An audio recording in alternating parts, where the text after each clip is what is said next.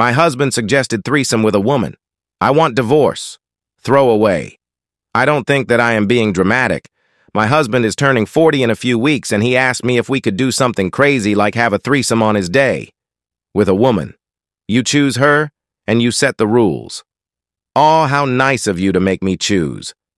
I just started bawling my eyes out, and I guess he wasn't prepared for this reaction, so he got terrified and started apologizing and saying sorry, and that he loves me more than anything and to forget it. Of course I can't forget it. I asked for divorce next day, two days ago, and he is very shocked and desperate.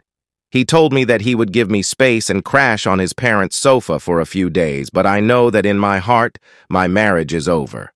Additional info. He is 40 and I am 38. We have been together for over seven years, married for one five, and we have one daughter who is six months old, and we were planning another baby. If anything is unclear, just ask.